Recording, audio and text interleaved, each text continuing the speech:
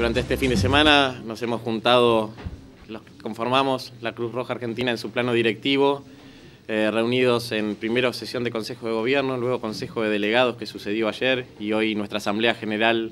Ordinaria, para tratar distintos puntos de,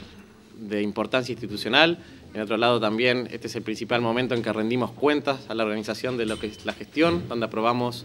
nuestros balances, en donde aprobamos nuestra memoria, que significa contarle a la gente lo que hemos hecho en las 23, en las 23 jurisdicciones más la ciudad autónoma del país durante los últimos 365 días. Esto es para nosotros, una organización como la nuestra, un momento clave porque más allá de lo que es la actividad de nuestros voluntarios, lo más importante que tiene organizaciones como la nuestra es la confianza pública y eso se construye a través de la transparencia de nuestras acciones. Lo que acaba de ocurrir es la primera vez en la historia que se eligen autoridades fuera de la ciudad de Buenos Aires. Ya desde hace un par de años hemos empezado esta dinámica de llevar las asambleas, que es el máximo órgano de gobierno que tiene la organización al interior del país, para que todos podamos conocer la obra de la organización más allá de los límites de la General Paz, de venir aquí, de que conozcamos esta magnífica filial, el trabajo increíble que hacen todos los voluntarios en la comunidad de San Rafael, lo que hace el cuerpo docente, los directivos, todo lo que hace la Cruz Roja aquí en, la provincia de Mendoza, específicamente en San Rafael.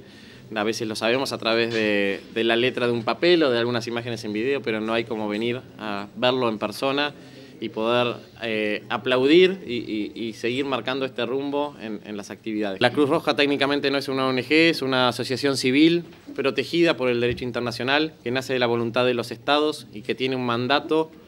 eh, constitutivo, que es ser auxiliar de los poderes públicos en el campo humanitario. Por eso requiere, para estar presente en cada uno de los países, una ley que vincule jurídicamente a la organización con el Estado en nuestro continente americano existen 35 países y la Cruz Roja está presente en el 100% de ellos, en los 35. Y Argentina fue el pionero, fue el decano de América, el primero en tener una Cruz Roja, el primero en ver el pabellón de nuestra organización en suelo americano y el primero en darnos una ley.